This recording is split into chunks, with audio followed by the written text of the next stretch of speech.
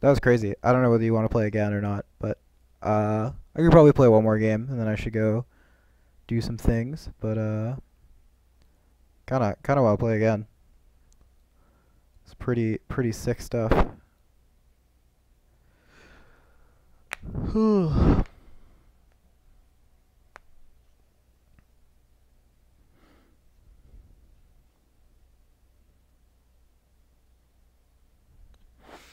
So we're on the draw again. see if we can keep a, a less sketchy hand. This is a less sketchy hand.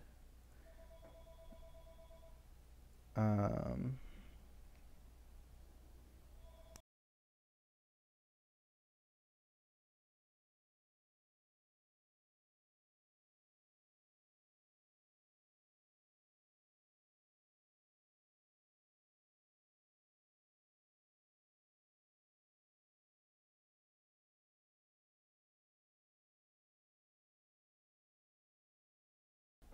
Sorry guys, I had to answer a phone call really briefly.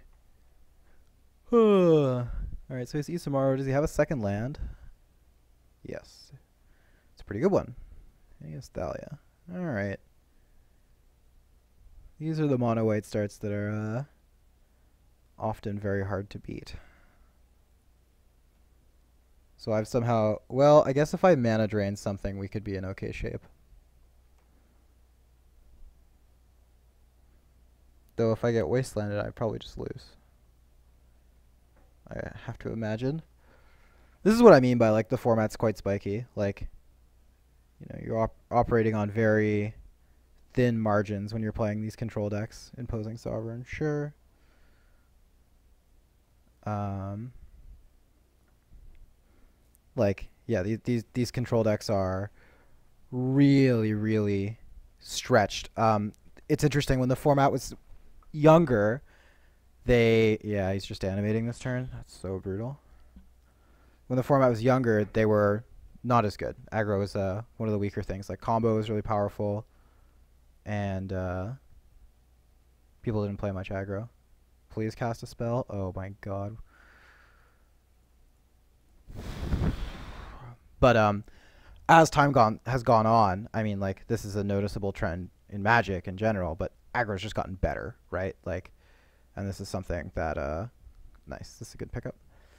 That like many um, Magic people have com have commented on, right? That the more, the farther along you go, the more powerful aggressive Magic cards seem to be getting. Um, and the same kind of thing has happened in Highlander. Like the aggressive decks have just gone from being like kind of marginal to probably the best decks. Um, well, like not the best decks necessarily, but just like super super good.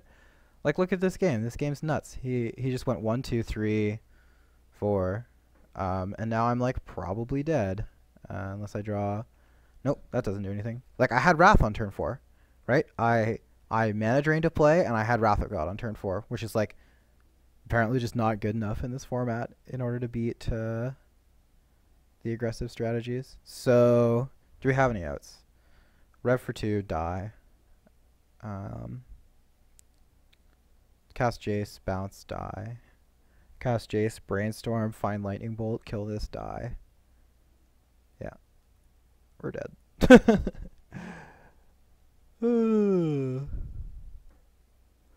but yeah, like I was just on the draw, didn't uh didn't establish like a super strong foothold in the game. Like I didn't have an early interactive spell or something like this. This is this is gonna be probably hopefully good in this game. Um, and as a result, just like I got totally crushed.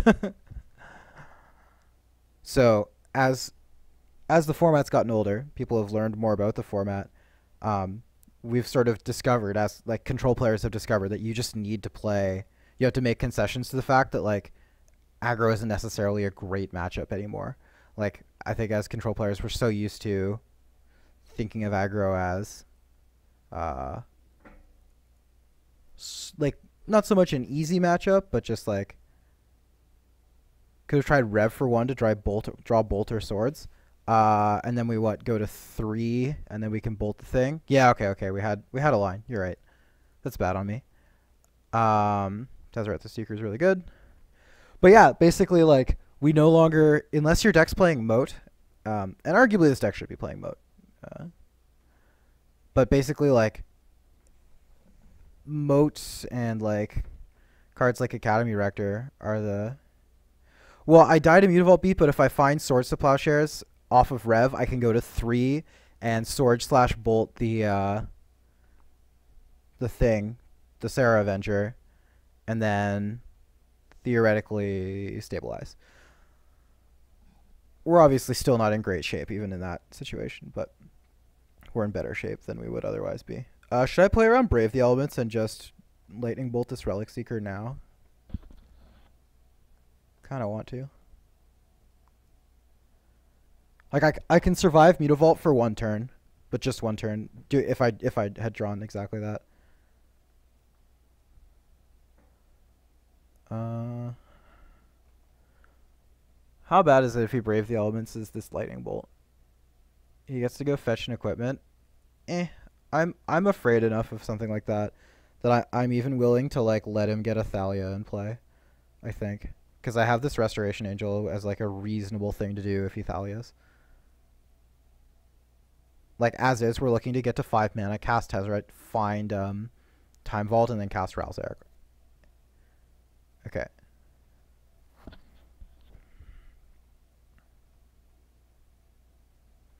We're flooded on Wraths. Which, you know, this is the right matchup to be flooded on Wraths, in fairness. But we need a fourth land.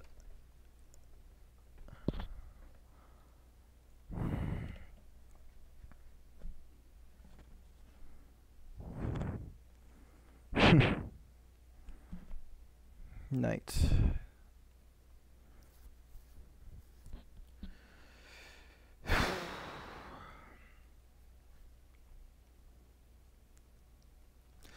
this is pretty rough. Our deck plays a lot of lands, so like we're a favorite to not have this happen to us, but obviously so every now and then you just like have some bad variants.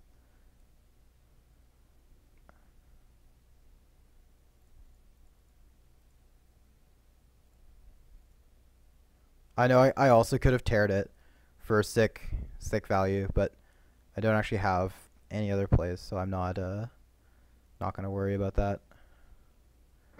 Um, at this point, I would probably cast a, a Wrath if I drew a land.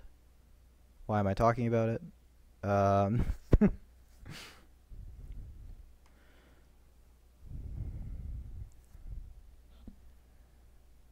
the time where getting Restoration Angel values would be good is decreasing ever more.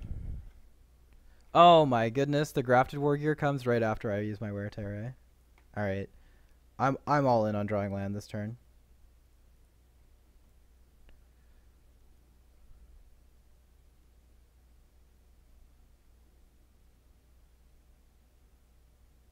Nice. We did it.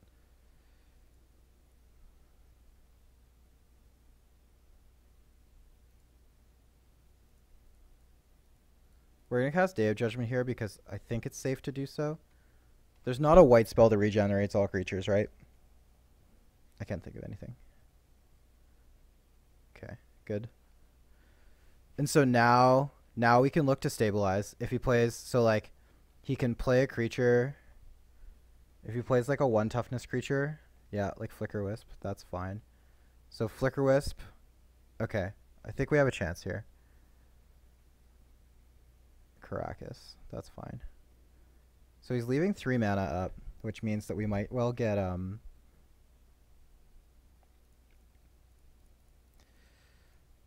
There are some cards I can't beat, like I can't beat Mana here, but I just have to run this out.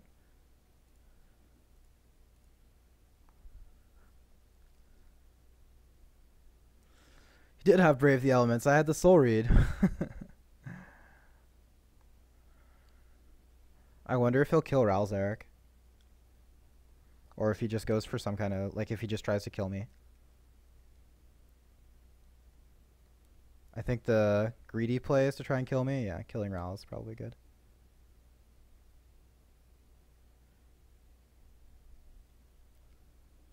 I think I just have to cast Wrath this turn.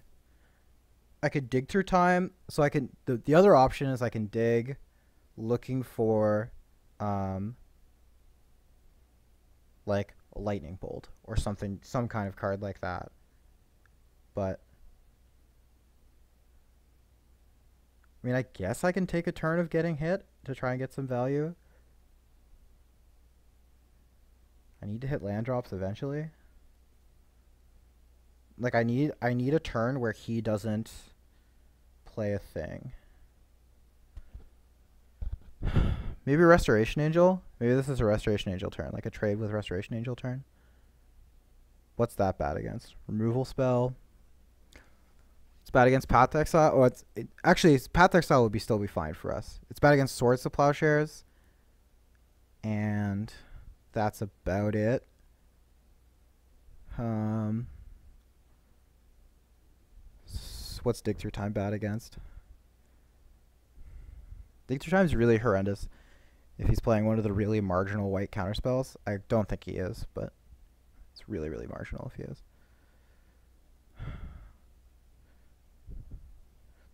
There's some allure to trying to set up Restoration Angel, Dack Fayden, Steal Grafted Wargear.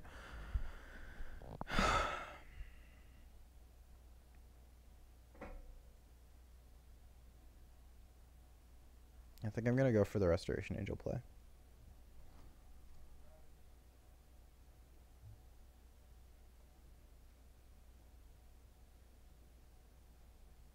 I think it's, yeah. See you, Graham. Thanks for the games today. They were Seek, Resto. Yeah, Ben? Um, what does a sec mean? Uh, yeah, that's probably fine. Yeah. I mean, like, I have to go to Dalplex to, like, play badminton later. But, um, which is why, like, I can't pick her up. Yeah. Um, so as long as you're, like, back within, like, a reasonable, like, as long as it's actually half an hour, it's not a problem.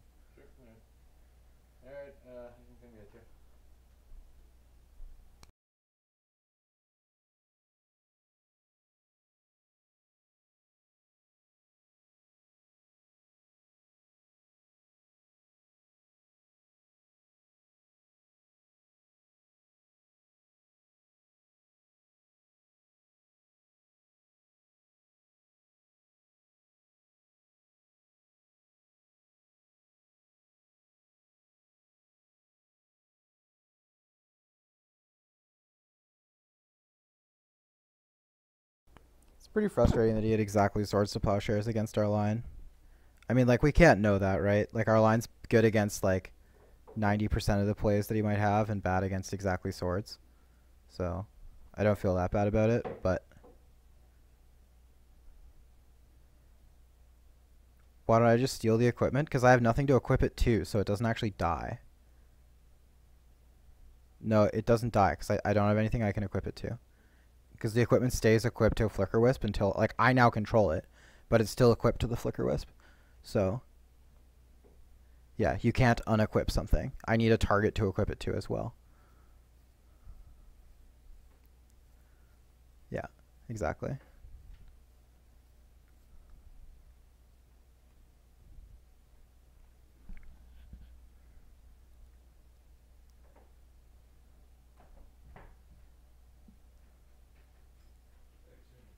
See ya.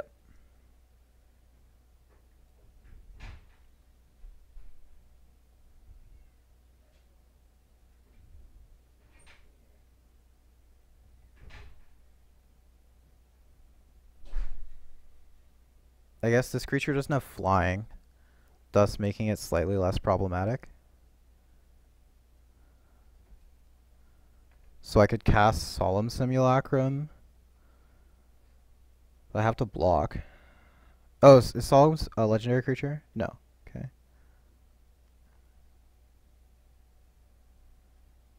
Um, you can sack his creature. Like if if I had a creature and I stole Wargear and equipped it to something I owned, his creature would die. But I can't just like, I, I there's not a mode of like unequipped sword. Like that's not an option. Alright, so we're dead if he has second removal spell, but I think that I'm just fine dying to second removal spell.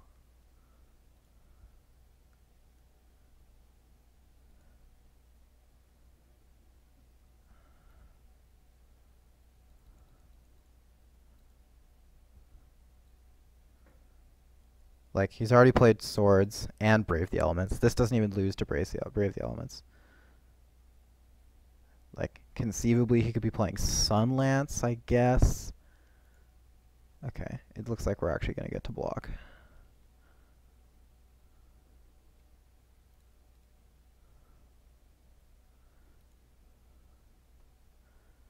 I would like to draw a card.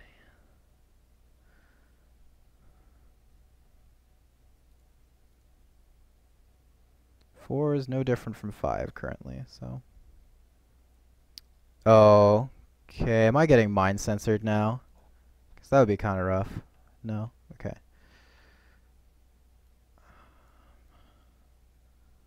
I have a white-red fetch going on, so I can get um, steam vents, I guess, is what I'm going to get. So with this, I'll get Plains. Is there anything I can cast right now? No. So, oh no, no, actually. This is pretty good. We're going to go to 2 because um, I don't think 2 is any different. Yeah. 2 is definitely not different from 4 in this context. And this lets us cast Dig Through Time on end step, which is, I think, a big tempo swing for us.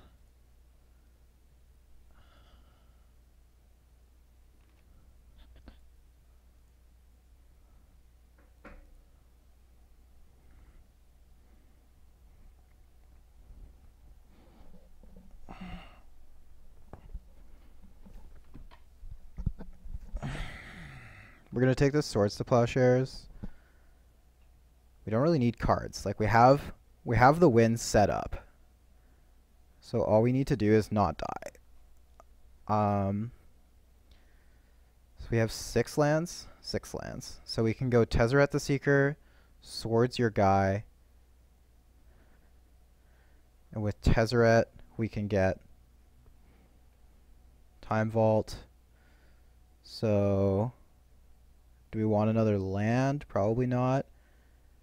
Like, it's just a question of how slow do we play this.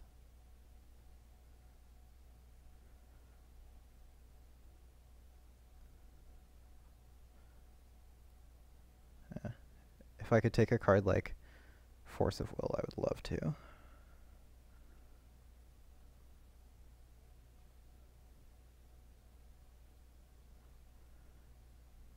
Oh, wow. That Jace is interesting too. So with Jace, we could no, no. That's getting too cute, I think.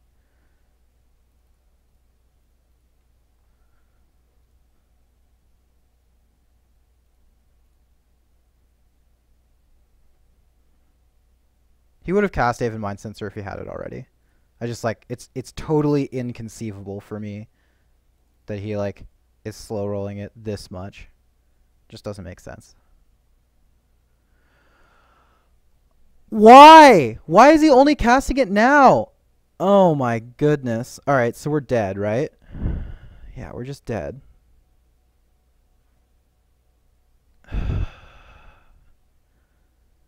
This is so frustrating. Why would he not cast it on my fetch land? And his ghost quarter. Like, surely he's giving me more outs by letting me untap with six lands. I mean, maybe this was the plan all along. So... It's not even a slow roll. It's just like... It's a really weird line, I think. Also, it's like a perfect draw. Can I... So... Doesn't really matter. I mean, maybe. I don't know. I don't think he would ghost. There's like no prizes on the line or anything. uh, Yeah, I guess it just has to resolve and we lose. So, like, my theory that going to 2 didn't matter is, like, mostly true. Um,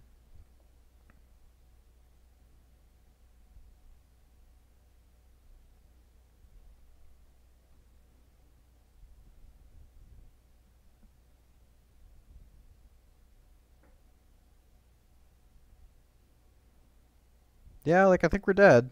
Uh, we go, we just take lethal damage from the Save a Mind Sensor that, like, really weirdly didn't get cast on two different search effects. you know, like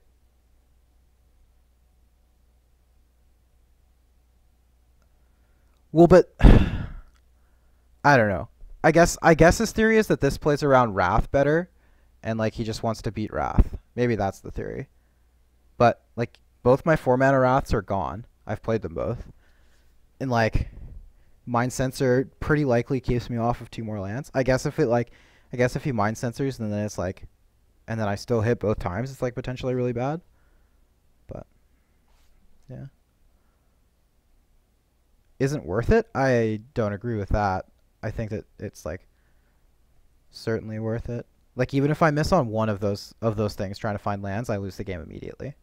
Just like based on what he's seen. Like the the only card at that point that isn't out for me is Supreme Verdict, and like so it's like one in eighty basically, and I can't cast any draw spells to get to it or anything.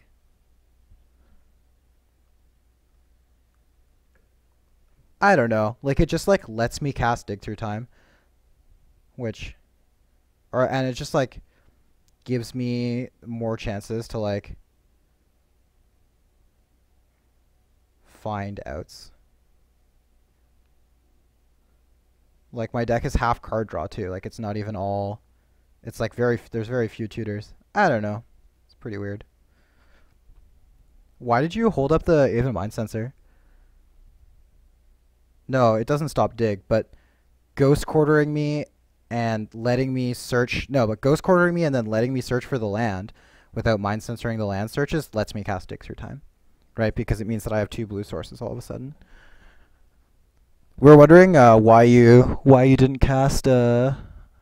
Yeah, I died either way. Well, it's the only reason I. Hmm. Interesting.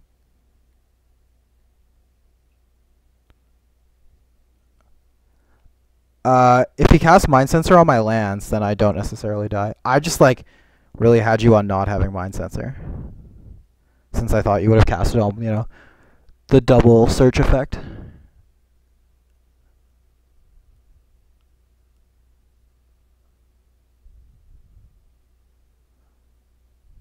Yeah, the two one kills me. No, no, no. I know. I'm not saying that like, like the the search isn't like the not being able to search isn't what killed me there. What killed me there was that it was a two one flash creature.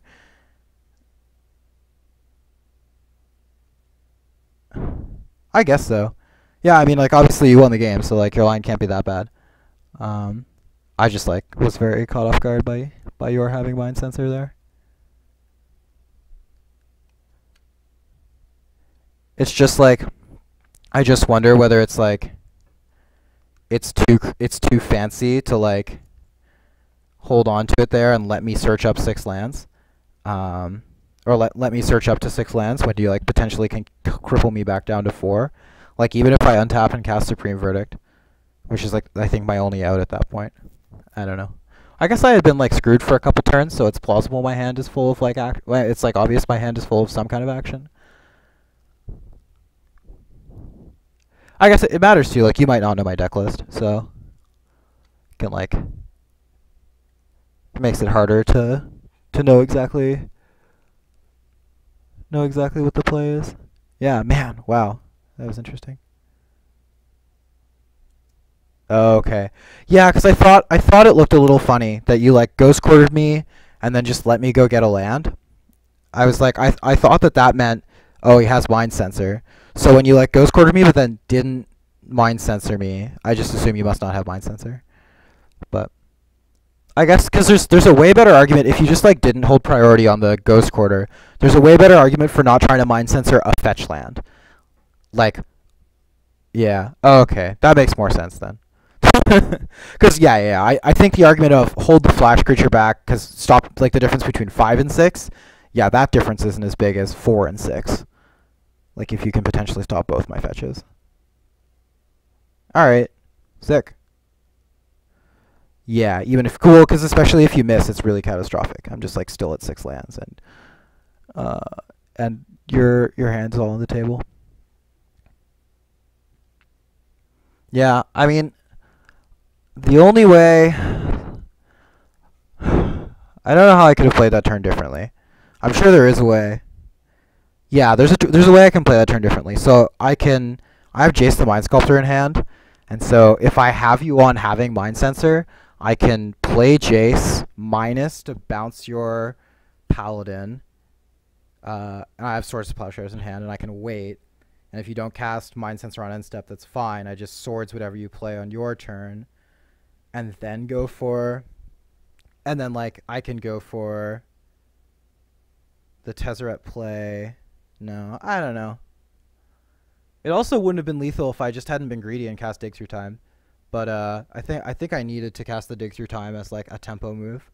I think if I had like I I don't think I was winning that game without digging sooner or later anyway. So, like taking the two damage.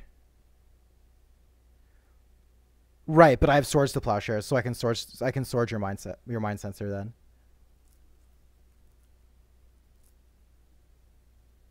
Like it just means I don't die to flash creature. But I just decided I, I wasn't gonna play around flash creature and, and just like just died to it. oh well, that was a really sweet game.